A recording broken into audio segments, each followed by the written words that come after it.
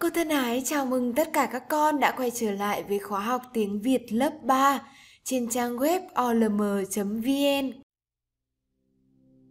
Tiếp tục trong chủ điểm cộng đồng, hôm nay chúng ta sẽ tìm hiểu bài tập đọc Tiếng Ru.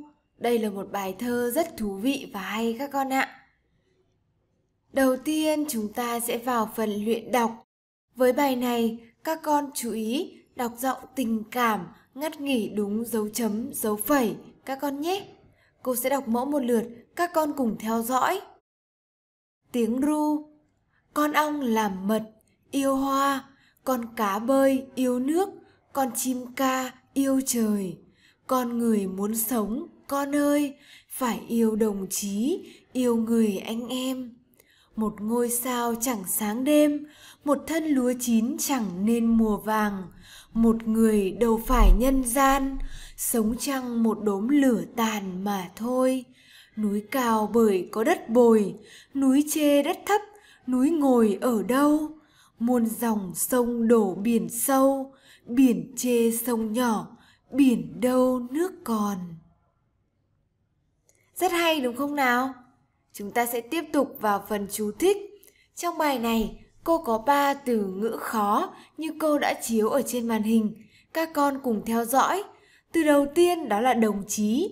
Đồng chí là người cùng đứng trong tổ chức cách mạng hoặc cùng chí hướng. Thứ hai là nhân gian. Nhân gian ở đây chỉ loài người. Và cuối cùng là bồi. Bồi có nghĩa là thêm vào, đắp nên. Các con cùng ghi nhớ nghĩa của ba từ ngữ này các con nhé.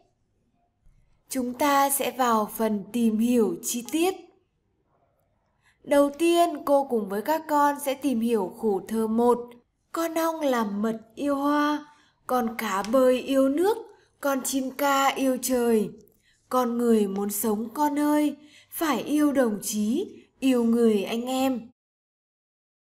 Các con hãy trả lời cho cô câu hỏi con ong, con cá, con chim yêu những gì và vì sao?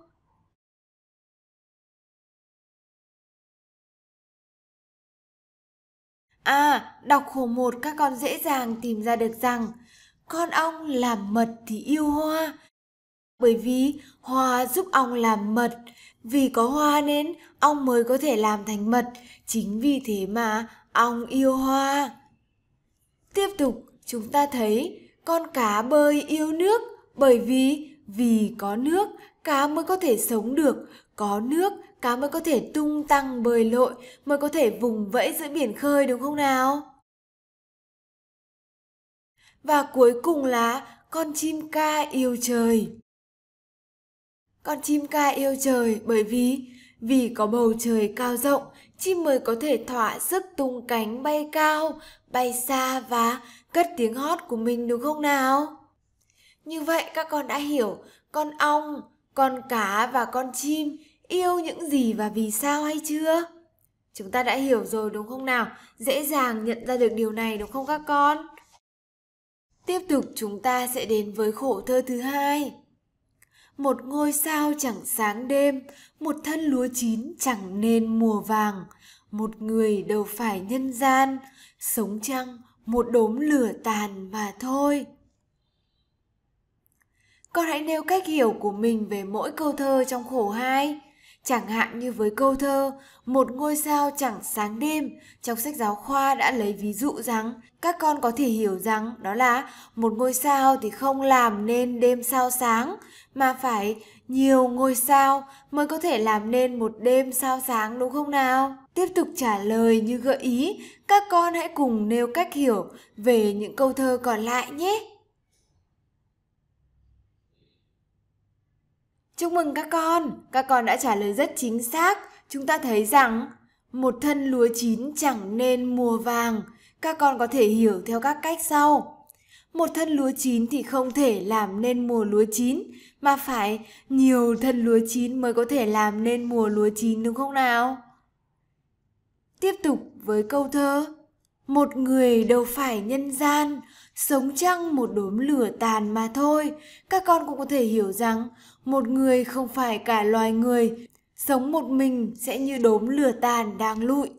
Nhiều con người mới làm nên nhân loại, Sống cô đơn một mình, con người sẽ như đốm lửa, không thể bừng sáng lâu, không thể tỏa sáng được đúng không nào các con? Những ví dụ này vô cùng thân thuộc và cô tin là các con dễ dàng hiểu được điều này đúng không nào? Chúng ta sẽ vào với khổ thơ cuối cùng. Núi cao bởi có đất bồi, núi chê đất thấp, núi ngồi ở đâu? Muôn dòng sông đổ biển sâu, biển chê sông nhỏ, biển đâu nước còn. Các con hãy trả lời câu hỏi, vì sao núi không chê đất thấp, biển không chê sông nhỏ?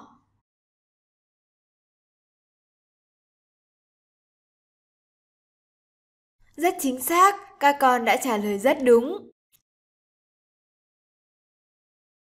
Núi không trên đất thấp bởi vì nhờ có đất bồi mà núi mới trở nên cao.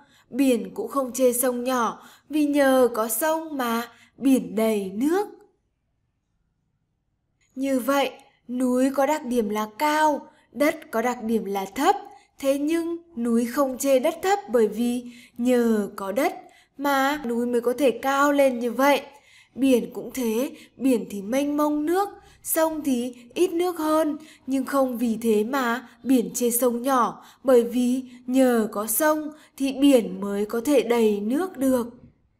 Tiếp tục các con hãy trả lời câu hỏi, câu lục bát nào trong khổ thơ 1 nói lên ý chính của cả bài thơ?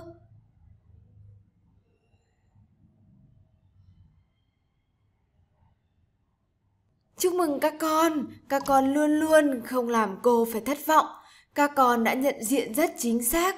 Chúng ta thấy được rằng câu thơ lục bát thể hiện ý nghĩa của cả bài thơ đó chính là con người muốn sống con ơi, phải yêu đồng chí, yêu người anh em.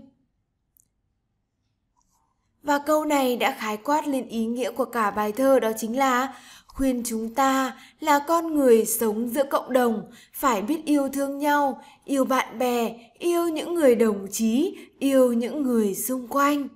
Và đây cũng chính là ý nghĩa của cả bài. Muốn khuyên chúng ta là con người sống giữa cộng đồng, phải biết yêu thương nhau, giúp đỡ nhau, giúp đỡ những người bạn, những người đồng chí, những người anh em. Cô hy vọng các con sẽ yêu thương nhiều hơn các con nhé và bài học của chúng ta hôm nay đến đây cũng đã kết thúc.